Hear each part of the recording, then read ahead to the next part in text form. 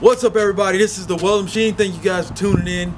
Here's another video. Guys, check out the merchandise that we got for my business. I'm gonna get my um, my main patch go right here. And this is my welding logo right here. I have another like a picture of it for you guys somewhere. I have it somewhere, but we'll got to put it on these fuel lines and it's getting kind of chilly. So let's get to it.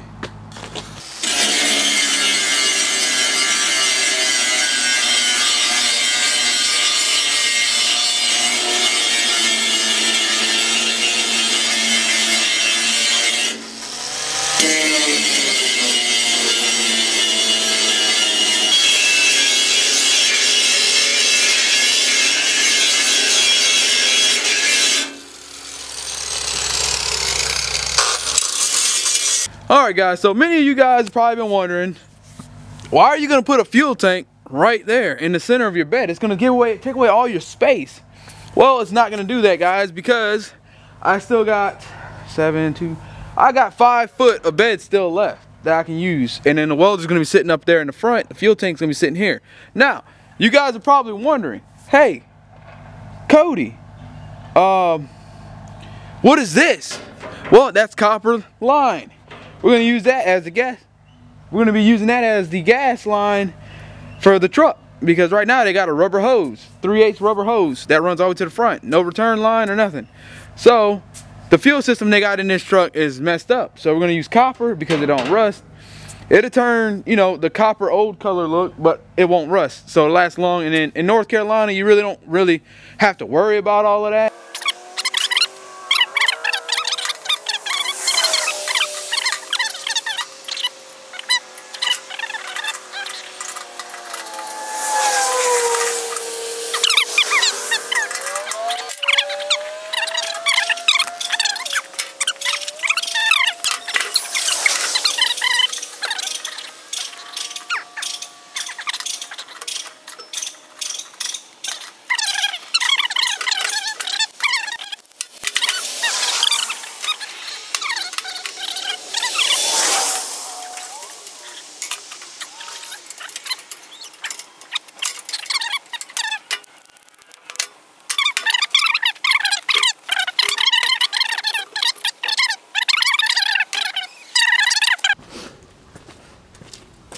What's up everybody, it's the welding machine guys. So we're gonna make this box to go over the gas tank to cover that up. It's gonna be uh, roughly about one foot tall and about as wide as the tank and about as long as the tank. And we're gonna build this all out of uh, plate right here. So we're gonna build, measure everything, make the frame separate from here and then put it on top and then we'll go from there. Or we can build each part individually and weld it and we have a bunch of open corner joints and stuff. So y'all stay tuned. Let's get into it. First things first, we gotta cut this.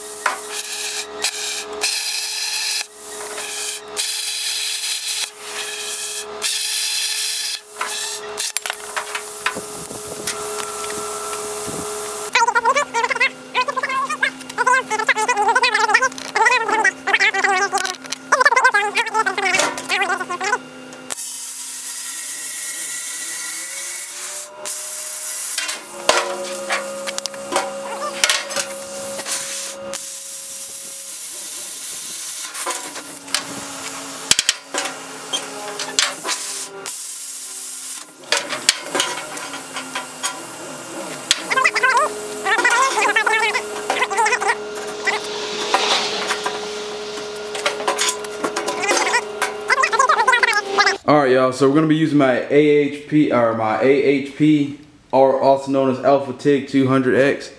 Um, sorry about the mess in the back, but we're focusing on the machine right now.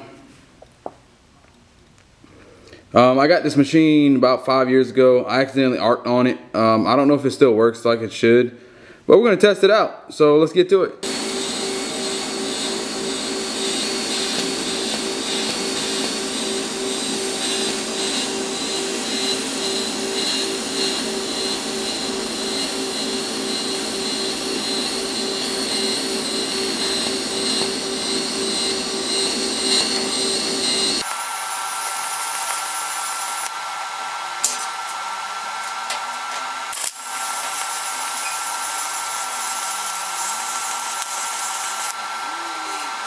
All right, y'all. So right now we're hooking up the fuel lines for the truck. Uh, we welded the we welded that in, blocked the hole off right here with some uh, some other kind of stuff, some JB Weld, just make sure everything's sealed up. I mean, like I said, I'm not a professional with TIG weld, and I don't TIG weld all the time. So I like I do practice, like to practice sometimes until I get frustrated.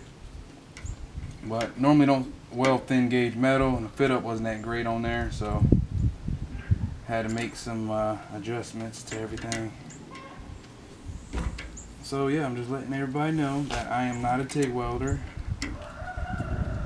I don't do this all the time. But yep, tighten up the lines. Tighten up the hoses occasionally jab your finger with a screwdriver.